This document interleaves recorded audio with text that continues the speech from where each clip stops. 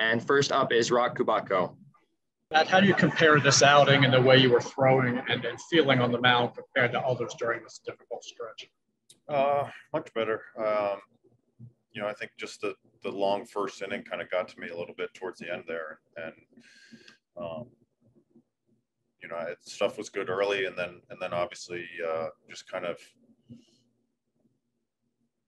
just kind of wasn't wasn't there in the fifth. Um, you know, I'm kicking myself. I feel like I should have been with the stuff I had early. I should have been in the sixth, seventh inning, and and you know there should be a lot less runs on the board. But uh, you know, just have to keep keep pushing forward and and uh, you know try and avoid those really long innings that that just wear you down. Joe Trezza, go ahead.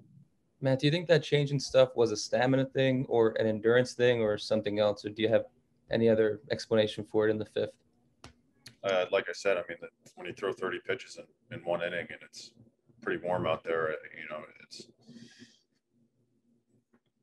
tend to kind of wear down a little bit quicker. That's that's part of baseball. Um, you know, unfortunately, it happened today. I, I don't. It's not a stamina issue on on what I'm doing uh, in between starts or, or or whatnot. It's you know, it's one of those days where you just you feel good early and and have a long inning to to start the game off. You know, you're you're battling to keep runs off the board and, and you know get the bases loaded. It's it's uh, part of baseball, like I said, and, and sometimes you just get a little tired, uh, you know, earlier than usual, and and uh, you know that that seemed to happen a little bit today towards the fifth in the fifth inning. Jon Meoli, go ahead. Matt, as a group, you guys had to come back from a tough loss yesterday and, and turn the page. Do you feel like the team has done a good job of that? You personally did a good job of, you know, putting that behind you and, and helping the team have a chance to win today?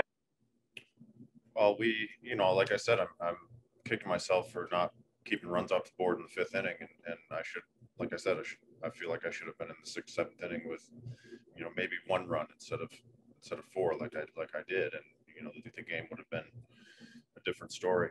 Uh, you know, we put up we put up runs. It's it's my job to to keep runs off the board, and you know, unfortunately, I didn't do that in the fifth. All right, that is all the questions we have. Thank you for joining us, Matt.